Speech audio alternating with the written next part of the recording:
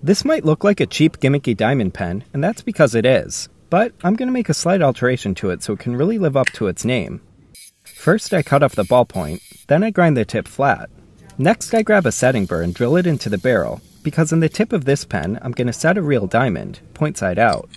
This pen won't be writing shopping lists or love letters anymore. Now, it's a Mohs hardness tester. Probably the only one made of a pen. Let's see what it does to the gemstones in this ring. Turquoise, level 6. Easily scratched. Garnet. Deep grooves at level 7. Emerald. Scuffed up at level 8. Sapphire. Light scratches at level 9. And Diamond, level 10. Almost impervious, but there's still some faint marking. Now, the Mohs hardness scale only goes up to level 10, but many of you have told me there exists something harder than Diamond. So I got my hands on this chunk of netherite. Let's see what the diamond pen does to it. It doesn't look like it's getting scratched.